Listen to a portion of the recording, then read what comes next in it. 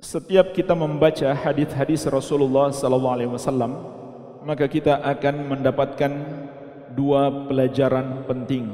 Pelajaran yang pertama, kita akan semakin memahami bahwa orang yang paling sayang kepada kita, yang paling mencintai kita dan paling pantas kita muliakan adalah Rasulullah sallallahu alaihi wasallam. Orang yang paling berjasa kepada kita. Kenapa? Beliau memberikan bimbingan kepada kita agar selamat dari api neraka.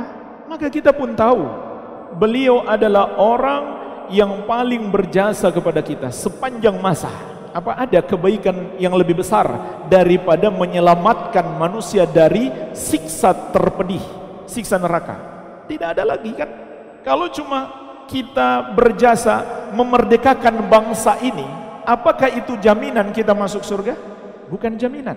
Itu betul jasa besar, tapi itu tidak seberapa dibandingkan jasa orang yang mengusahakan hidayah bagi kita.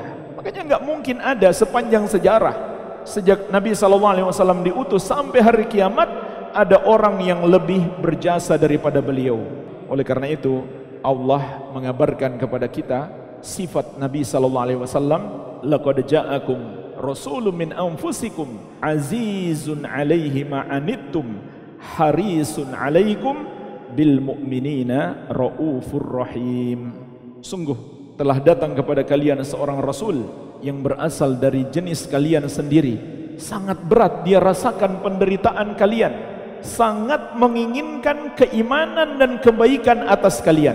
Serta lembut serta penyayang terhadap orang-orang yang beriman dan di antara nama beliau adalah Nabiur Rahmah, Nabi kasih sayang.